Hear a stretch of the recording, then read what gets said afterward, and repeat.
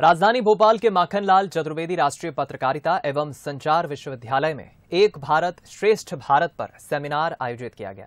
इस सेमिनार में chief guest के तौर पर मध्य प्रदेश शासन के चिकित्सा शिक्षा मंत्री विश्वास सारंग शामिल हुए।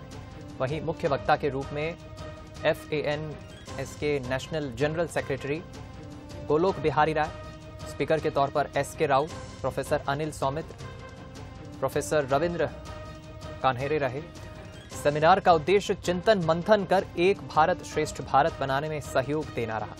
सेमिनार का आयोजन माखनलाल चतुर्वेदी राष्ट्रीय पत्रकारिता एवं संचार विश्वविद्यालय और राष्ट्रीय सुरक्षा जागरण मंच ने किया।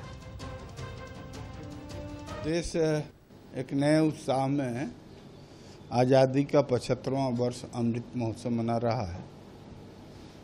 देश के एक एक जन जो है एक एक व्यक्ति अमृत महोत्सव का सहभागी है। राष्ट्रीय सुरक्षा जागरण मंच भी उसी क्रम में, उसी कड़ी में, देश के अपने सभी चैप्टरों में अमृत महोत्सव मना रहा है। विश्व की मानवता के लिए, वैश्विक मानवता के लिए, विश्व के शांति और कल्याण के लिए आज सबकी जो है एक आस्था, दृष्टि भारत की वैचारिकता पर है। इन्हीं बातों को लेकर एक व्यापक चर्चा इस अमृत महोत्सव में के वर्ष में हमने शुरू किया है। उसी क्रम में आज यहाँ पर माखनलाल चतुर्वेदी यूनिवर्सिटी विश्वविद्यालय के सहयोग से एक कार्यक्रम का आयोजन किया गया था और इस पर चापर प्रसारी बातें